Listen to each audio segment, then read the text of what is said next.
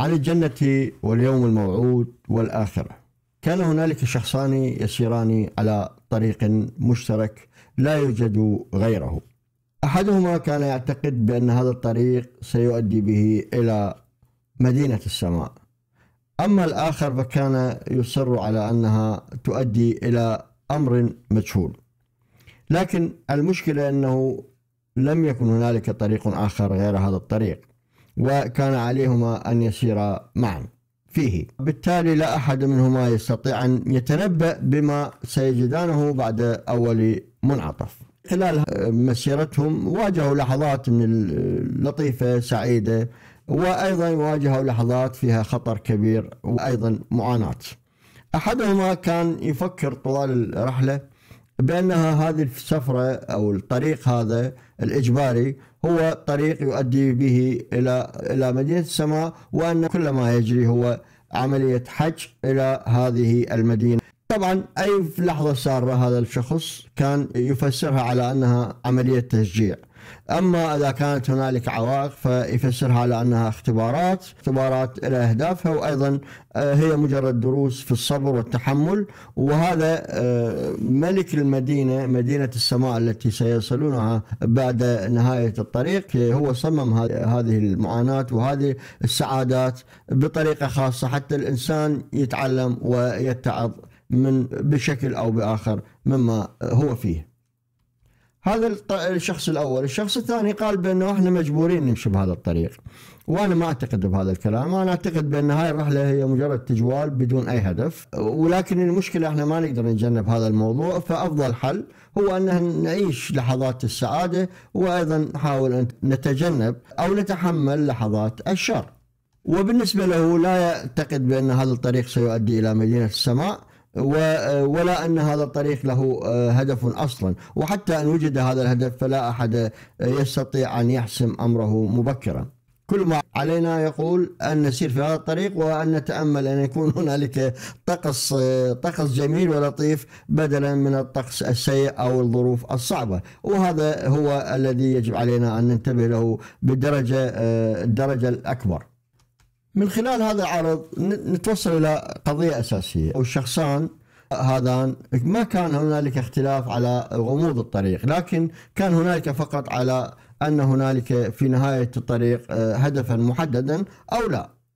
لكن المشكلة أن تأويلاتهم المتعارضة لما يحدث يعني هم عندما يمرون في منطقة أو يعبرون منعطف محدد سيصادفون مصداقية ما يقوله أحدهما فيما يكتشف الآخر أن هنالك مما ما لم يكن يتوقعه أو يظنه.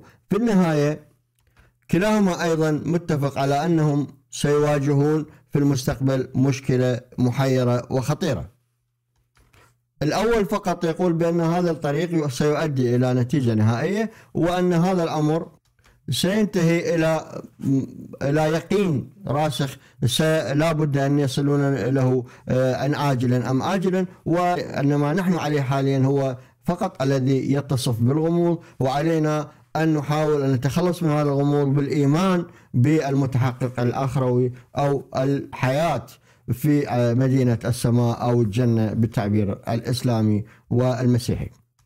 وأن هذا الطريق هو مجرد ممر وبالنسبة للذي يؤمن بوجود نهاية هذا يعتبر الطريق هو مجرد ممر ممر باتجاه الوصول إلى النهاية. لكن الذي يبدو أنه واضح أنه من قبل الطرفين أن الهدف والطريق لا يمكن أن لأحد أن يختارهما ولكنه بالحقيقة هو مجرد خيار بين الإيمان والإلحاد. الأخطر والأعمق أنه أن الطرف الأول يبدأ بأن بمشاهدة العالم والإحساس بوجود العالم بطريقة مختلفة تماما عن الطريقة التي يشعر بها الملحد أو غير المؤمن. المؤمن بالنتيجة يتوقع أما الملحد فلا يتوقع بوجود نتيجة لهذا كل هذا العناء والتعب آهل من وحش الطريق وقلة الزاد وعناء السفر. مقولة عظيمة وجميلة جدا. والطرف المؤمن في هذه المعادلة دائما يشعر بأنه هو ابن الله أو هم أو هو من أولاد الله. وهذا الطريق سيؤدي بالنتيجة إلى أن يحقق ابن الله أو أبناء الله يجتازون هذا الاختبار الصعب في النهاية. طبعا كما رأينا هذا المشهد هو هذا هذا التصور هو بالضبط قريب إلى تصور المؤمن والملحد أو غير المؤمن، هم كلاهما يعيشون يعيشان المشكلة نفسها لكن كل منهم لديه تصوره الخاص. المشكلة دائما عند المؤمن يعتقد بأن أن وجوده يحتم عليه أن يكون مسؤولا عن هذا الوجود ومسؤولا عن كل شيء حوله وعلى الجميع أن ينصاعوا لهذه المسؤولية وأن هذا المكان وهذا الطريق هو مسألة يجب الاعتناء فيها وأن عدم الاعتراف بوجود غاية وهدف هو آه، شيء لا يجعله مرتاح البال وقلقا ويرى بأن عليه أن يخطط لإدارة شؤون حياته. توقع كل ما يحصل يخشى من وجود من يهدم عليه هذه اللذة الخاصة به أو هذا الحلم الذي بناه في عقله. لكن هو السؤال اللي يواجه المؤمن من قبل الملحد عندما يقول أنت من, من قال لك بأن هنالك وجود بعد الموت؟ أو أن هذا الطريق عندما ينتهي سيكون هنالك إله؟ ما ما لا يوجد ضمان أن هنالك إله هو يقول لا هنالك مدينة الإله مدينة الله مثلا. لكن ما هو الضمان بوجود مدينة الله؟ لا يوجد شيء يثبت وجود الله وليس بالضرورة. أن يكون هنالك وجود بعد الموت وأن في هذا الوجود سيتم الحساب. لا وجود لأي أمر ملزم بوجود دار الحساب أو أو نهاية وحتى لو افترضنا وجود ما بعد الموت أو الإنسان ينتقل من مرحلة إلى مرحلة أخرى فهذا لا يعني أنه بالضرورة سيقع في مدينة الله أو سيدخل إلى إلى الملكوت بالتعبير المسيحي أو يتم عرضه على الملائكة ويتم تسليمه كتابه إما بيمينه أو بشماله هذا أمر افتراضي قد لا يكون حتى إذا افترضنا موجود الغيب أو إن هنالك عذاب بعد القبر وحساب وقيامة فهذا أمر لا يمكن الجزم به ولا ولا يبدو إن له علاقة بالمعتقدات الدينية أو الإيمانية، ربما الإنسان ينتقل إلى إلى أفق آخر ربما يكون أصعب وأكثر غموضا مما نحن فيه، لا لا وجود لاي دليل على أننا في نهاية هذا الطريق.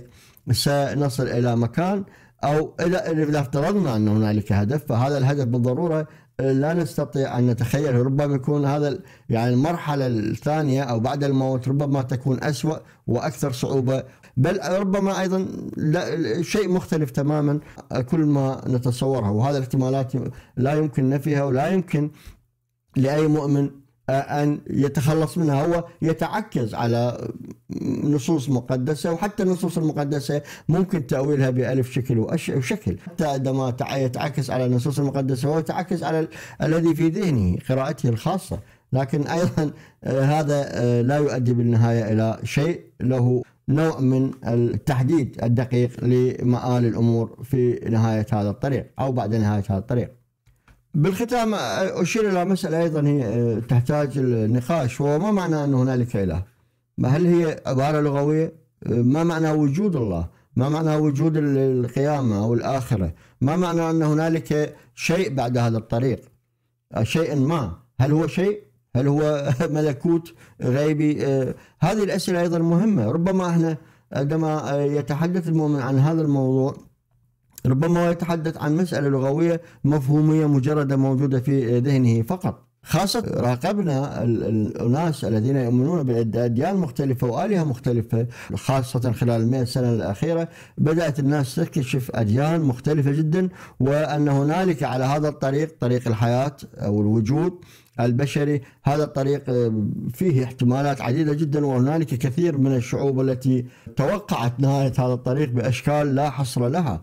نحن بصراحة نتحدث عن أنفسنا أو عن السردية التوحيدية اليهودية المسيحية الإسلامية. هاي السردية تقول أن هذا نهاية هذا الطريق هنالك ثواب وعقاب ويوم قيامة وحشر وأيضا يوم الملكوت وعودة الأرواح الضالة إلى مصدرها الأصلي. الله نفخ فينا من روحه وعلى هذا الروح أن تعود إلى ذلك المكان. هذه الفكرة الأساسية لكن نعندما نكتشف ونطلع على آه، مذاهب والأفكار آه، التي التي وجدت لدى كثير من الشعوب نكتشف أشياء مدهشة ولا يمكن أن تخطر على بال.